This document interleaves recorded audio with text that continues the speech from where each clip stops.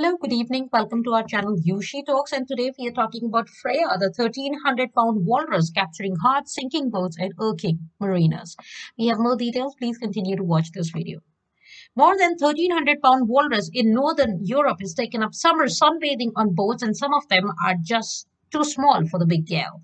Nicknamed Freya, the young female walrus is causing cute, clumsy chaos in countries like United Kingdom, the Netherlands, Denmark, and Sweden, as per local reports.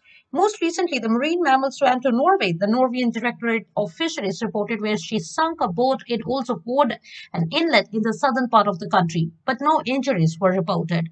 Named after the Norse goddess of love and beauty, Freya has fans, but she also has marino enemies after sinking and damaging boats. Viral video posted online shows Freya climbing into the stern of boats, basking in the sun, struggling to support her bulk, and other times flipping the vessels when she is not dozing on boards. Uh, other video shows her chasing ducks and swans. A walrus can sleep up to 19 hours a day, according to Center for Sleep Research.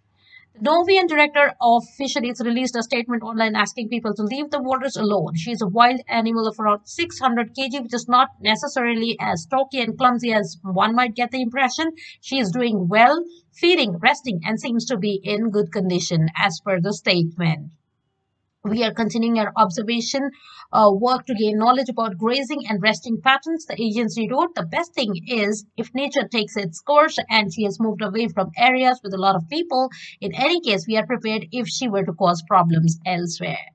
Uh, so that's all we have in today's video. Please continue to watch this space for more informative news. Thanks for watching us. You have a wonderful day ahead. Bye-bye.